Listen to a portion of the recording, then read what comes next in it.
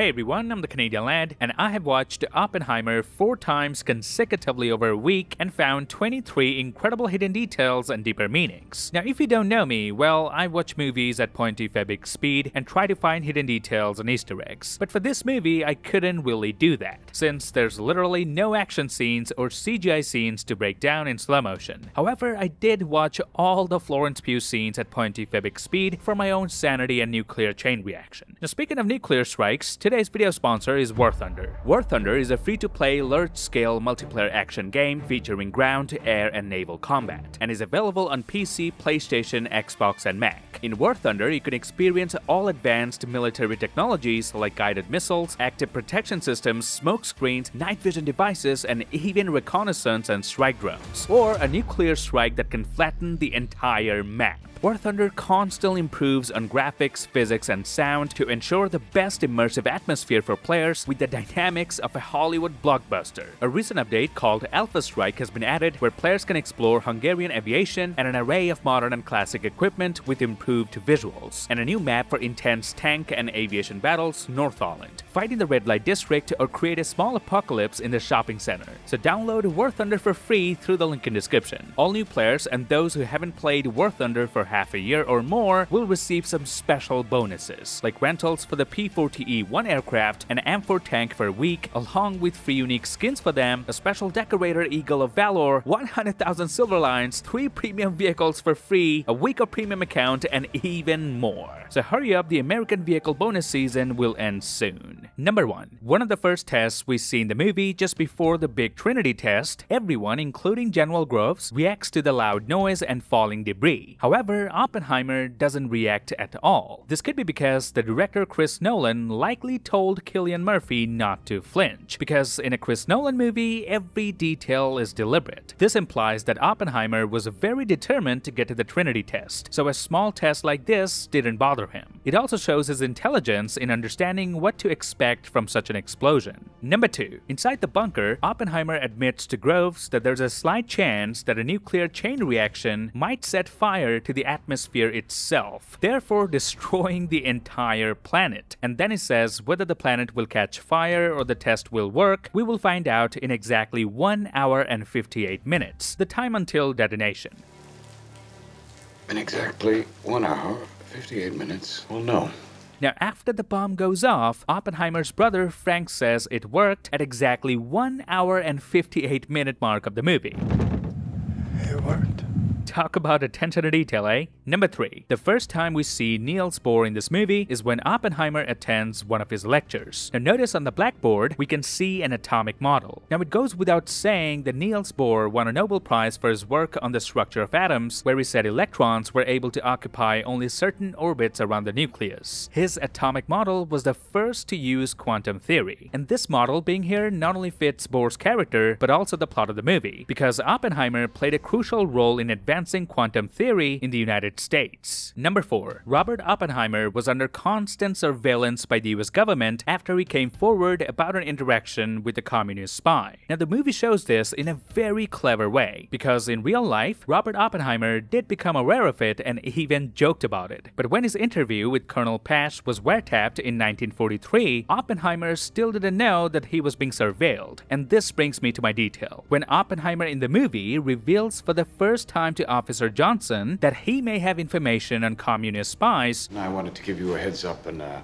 on a man named Eltenton.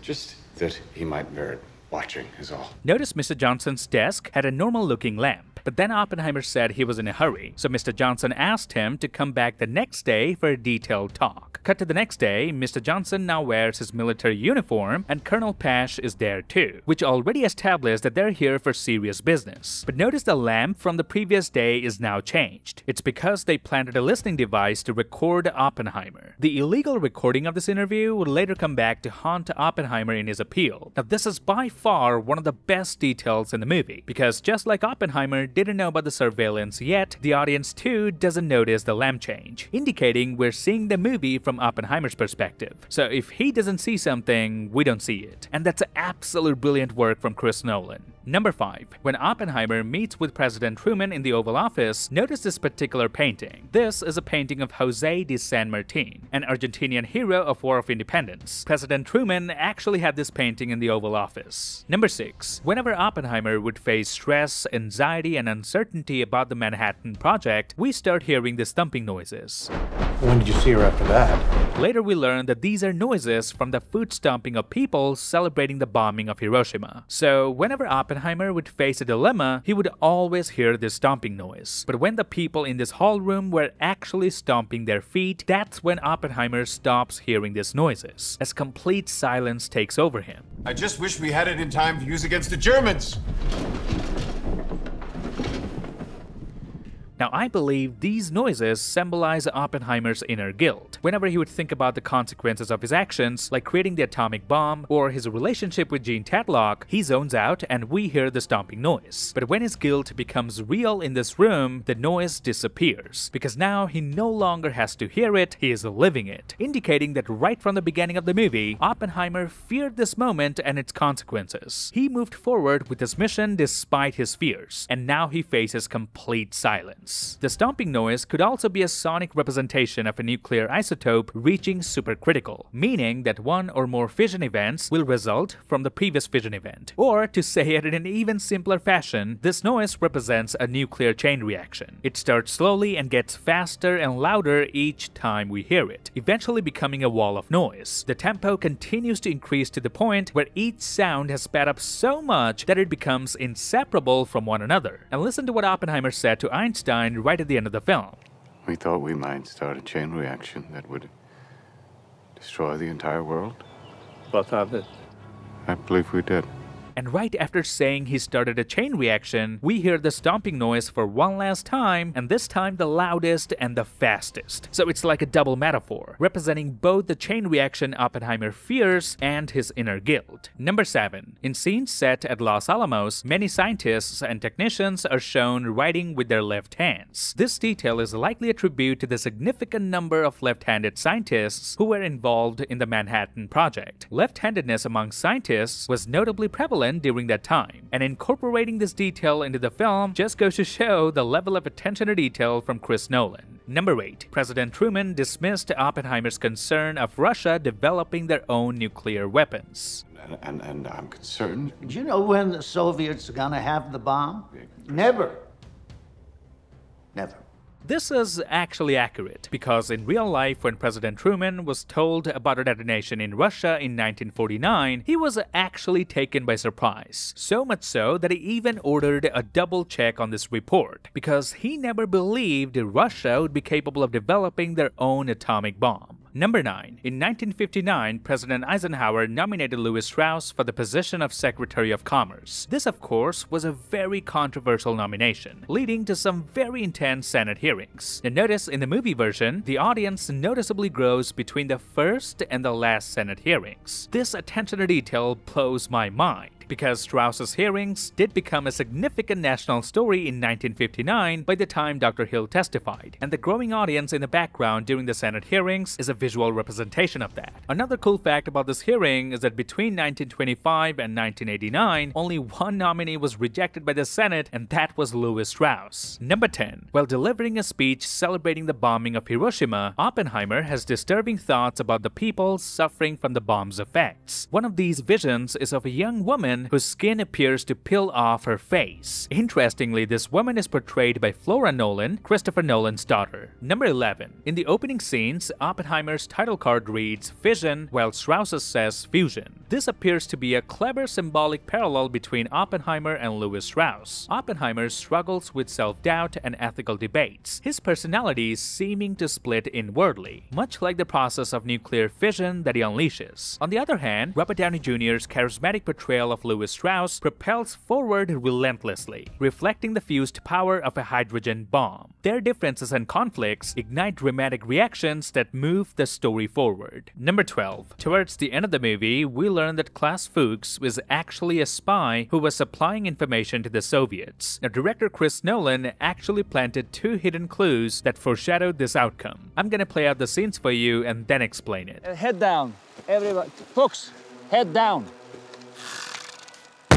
Folks, head down. Okay. Everybody ready?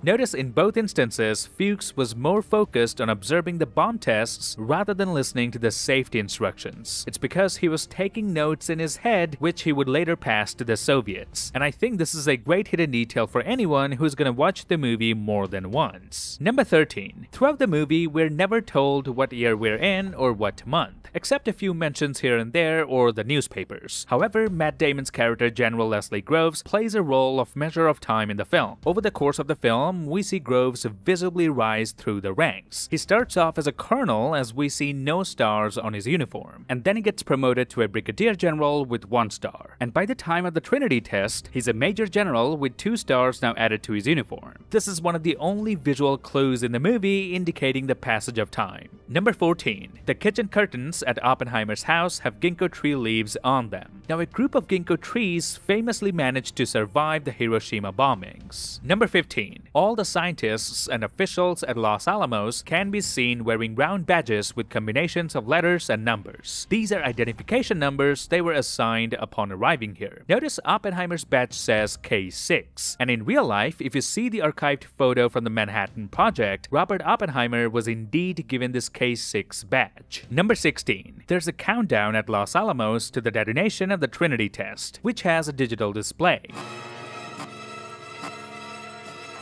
Now the last number we see here is 43. Now I found it a bit odd that Chris Nolan chose to show us the last remaining seconds as 43 because the time that elapsed after the actual bomb aka Little Boy was dropped and then detonated over Hiroshima was exactly 43 seconds. So this could be Chris's way of incorporating a weird easter egg. Number 17. The film uses actual archived audio of President Truman when he officially announced that the US has dropped an A-bomb on Japan. An American airplane dropped one bomb on Hiroshima. An American airplane dropped one bomb on Hiroshima. Number 18. The room where Oppenheimer teaches quantum theory is an exact replica of his office from the actual UC Berkeley. The desks seen in this room are the classic old UC Berkeley desks with hard wooden backs and tiny connected writing surfaces. It's an authentic touch that makes it feel extremely Berkeley. Number 19. When Einstein is first shown in the movie from a distance, we can see him throwing a stone. Now it's funny because his last name in German means a stone. Number 20. Albert Einstein is shown walking in the woods with Kurt Gödel. The two of them did actually take long walks together as friends at the Institute for Advanced Studies. Number 21. After the meeting between President Truman and Oppenheimer, Truman said this. Don't let that crybaby back in here. Now, this line by Truman, don't you ever bring that crybaby back here again, is historically accurate. Truman did really say that to his staff after meeting Robert Oppenheimer, and he also mockingly handed him a handkerchief, as portrayed in the film. In fact, Truman also said, Blood on his hands? I have twice as much on mine.